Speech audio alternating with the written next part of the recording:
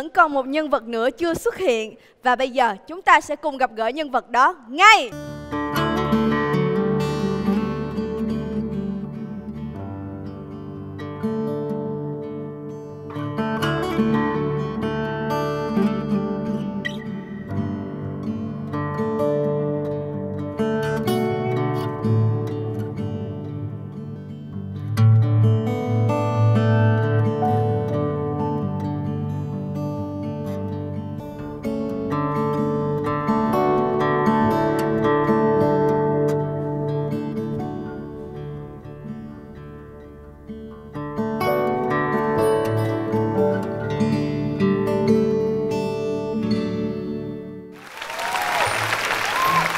Phải yoga không? Đúng rồi yoga. Chú là một người tập yoga rất là giỏi Và tập rất lâu rồi. Thật ra động tác rất là thuần phục luôn. Dạ. Rồi chốt luôn yoga. Chốt luôn Yoga. Tuy nhiên Sao có tuy nhiên nữa chị? Phải là những gì chú lên đây biểu diễn. Chính xác. Nhiều khi là một môn chú ưa thích thôi. Đúng rồi. Còn chú lại có một tài năng nào khác nữa thì sao? Vậy thì chúng ta sẽ cùng mở năm gợi ý của chương trình để xem có những phán đoán của ban bình luận hay không. Xin mời. Chú Phan Quang Đáng, 68 tuổi. A. Dạy kỹ năng sống. B. Sáng tác truyện ngắn. C. Yoga. D. Thiết kế thời trang. Và E. Sáng tác thơ. Nhìn chú khác với hình ảnh trong clip Đúng ghê rồi. á. Ở đây sao- xa sao luôn đó. chú trẻ trung dữ vậy ta? Ừ Hồi nãy á, thì mình nghĩ là à, nó nghiêng về à, dạy về võ về yoga Nhưng mà giờ nhìn chú thì anh lại nghĩ ngay đáp án là thiết kế thời trang. Hoặc ừ, là Trời đất sao nghĩ mà thiết kế thời trang? Hoặc là chú cũng có thể là một người dạy về kỹ năng sống. Đúng có thể. Đó. Hai cái đó đó. Nhưng mà tôi vẫn thiên về yoga.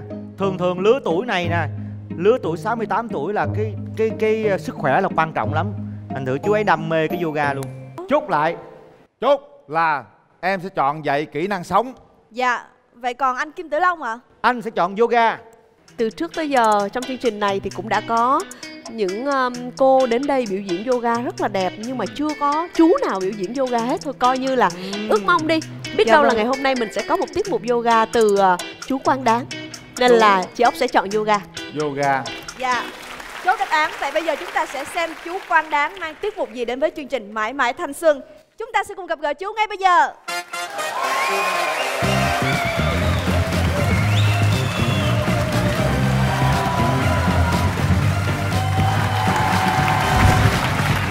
Dạ, xin chào à, chú ạ. Chào ban bình luận. Chào quý khán giả. À, Xin phép được giới thiệu về mình. Dạ, dạ à, Tôi tên là Phan Quang Đáng Được 68 tuổi. Chú 68 tuổi mà nhìn chú còn trẻ lắm luôn á. Dạ, Nhờ yoga đó.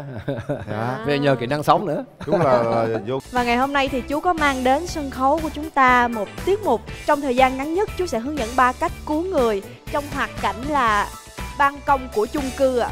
Trong những cái kỹ năng sống đó rất là nhiều.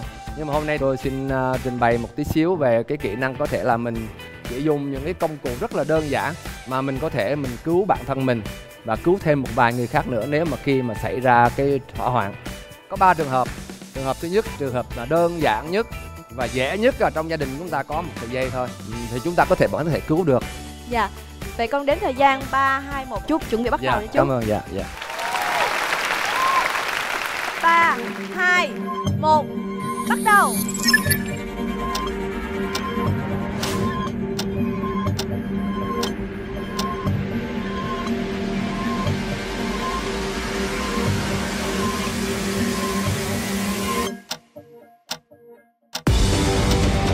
Này là chúng ta có một sợi dây ngắn nữa.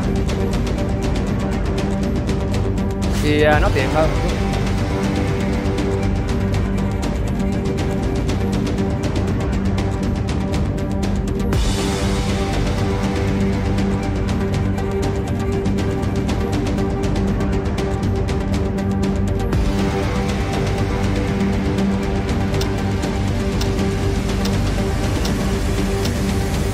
cái trường hợp này chúng ta an toàn hơn.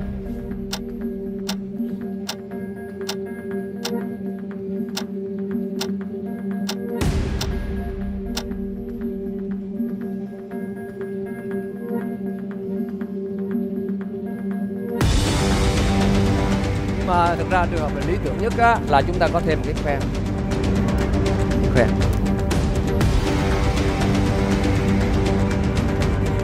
trường hợp này thì chúng ta có thể cứu được nhiều người hơn.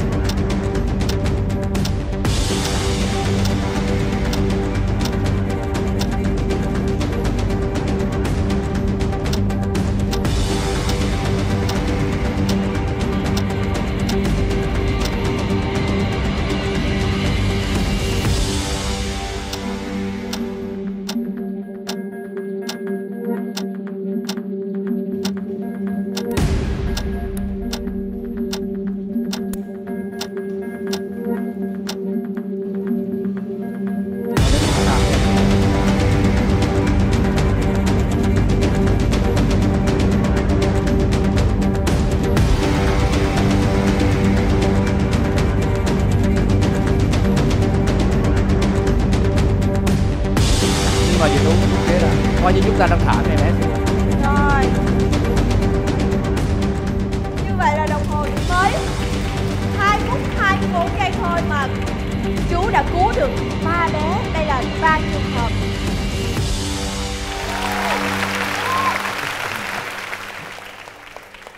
Đây. Và, và các bé đây cũng là các học trò trong lớp kỹ năng sống của chú rồi cảm ơn các con rất nhiều. Cảm cảm ơn các con. chắc chắn các con đã học rất rất nhiều cái kỹ năng có thể ờ, mình sẽ tự bảo vệ cho mình hoặc là cứu bạn bè ha. Chú ơi ờ, học kỹ năng sống thì ờ, bắt đầu mình dạy từ mấy tuổi là cho tới mấy tuổi? Chúng tôi có nhiều cái lứa tuổi từ à, 4 tuổi cho đến à, 6 tuổi. 4 tuổi bắt đầu học được 4 rồi. tuổi gì với bé bé hồi nãy mình mấy bé nó chơi Rồi khoan thông qua những cái trò chơi cho mấy em nó làm quen. Thí dụ như là bơi đi. Nó có bốn điều kiện nó thỏa được cái điều kiện. Thí dụ như bơi 50 mét thì được gắn cho mấy em cái chuyên hiệu bơi. Thì rất là vui mấy em nó thích lắm. Nhờ cái đó nó thích. Nó Phấn chơi. đấu. nó mới phấn đấu.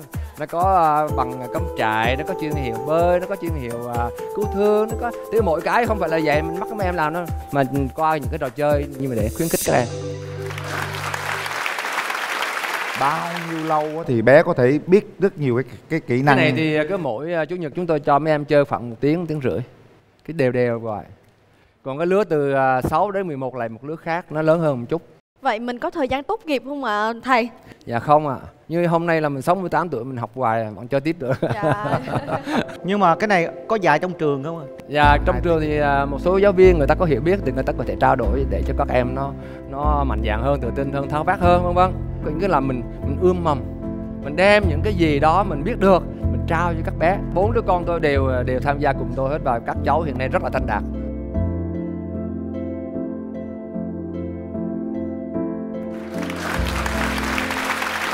mong rằng chúng ta sẽ có nhiều người như chú hơn nữa để Dạ. tạo thành nhiều cái ờ, gọi là trung tâm hơn nữa để có thể giáo dục trẻ em về những kỹ năng sống để giúp cho em có thể vừa tự bảo vệ mình Dạ, đúng rồi, hoặc chính có thể xác là lớn lên Dạ. bảo vệ cho nhiều người hơn nữa Dạ.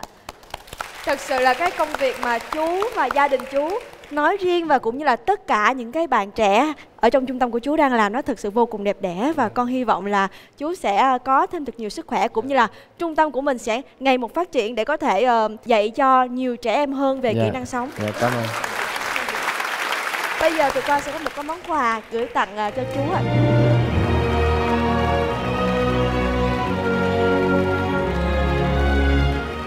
đây là hai cái mũ để đội có thể mình trong lúc mình tham gia chương trình Dạ. về kỹ năng sống mưa che nắng là mưa cảm ơn. đây là một cái album dành cho chú tất cả những cái hoạt động của chú có trong đây hết Ồ dạ cảm ơn. đó Đây là bữa xã mình. dạ chụp con trai luôn cái này tổng hợp là một cái album Dạ. tất cả những cái hoạt động của chú Dạ. à, những cái chuyến đi Ồ. và những chương trình thiện nguyện như Dạ, thế dạ. đây là những điều mà à, rất là đáng trân trọng và tri ân à, mong rằng chú sẽ tiếp tục à, có thêm nhiều cái người bạn đồng hành nữa Dạ. Và để làm được điều đó thì chắc chắn là thầy phải cần sức khỏe, niềm tin và cả nghị lực nữa. Và chương trình xin được gửi lời chúc đến thầy, mong thầy sẽ mãi mãi thanh xuân.